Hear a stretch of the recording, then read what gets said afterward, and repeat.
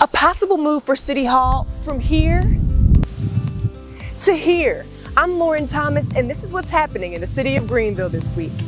City leaders are exploring options to sell the current building at 206 South Main and purchase the Bowater building at 55 East Camperdown. The move would put City Hall next to the Falls and Liberty Bridge and provide more accessibility to citizens and better customer service. CU-ICAR unveiled Deep Orange 12 in Indianapolis.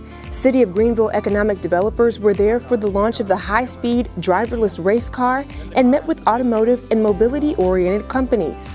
City Council gave final approval to an ordinance to cut down on false burglar alarms. Police respond to an average of 5,000 alarms each year and 99% are false.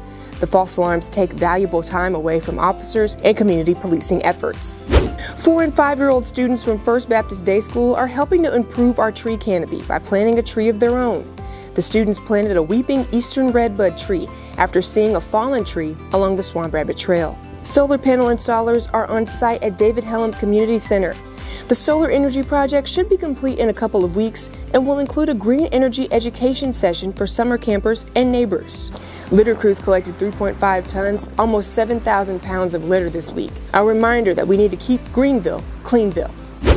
The Arts and Public Places Commission, Youth Commission, and Greenlink partnered to bring public art designed by local high school students to 10 Greenlink bus stop shelters throughout the city. The winners of the inaugural Greenlink Bus Shelter Art Contest were honored during a reception. Greenville Heritage Soundcheck added general admission lawn seating to the weekly series. The free seating area is available on a first come, first served basis. The series will continue to offer reservations for T Mobile pods, which can accommodate up to four people. City Council approved the donation of surplus property to Genesis Homes to construct eight affordable rental units.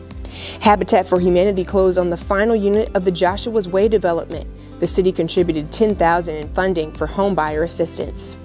Installation of Cleveland Park speed humps is underway. Four speed humps will be installed with the remaining three installed after the Lakehurst Street resurfacing. The third public workshop for the West End Small Area Plan was held with over 30 community members in attendance to hear about the proposed plan for future growth. At Unity Park, contractors are making excellent progress on the parallel Swamp Rabbit Trail behind the warehouses on Welborn Street. They expect to open the northern section of the trail in July.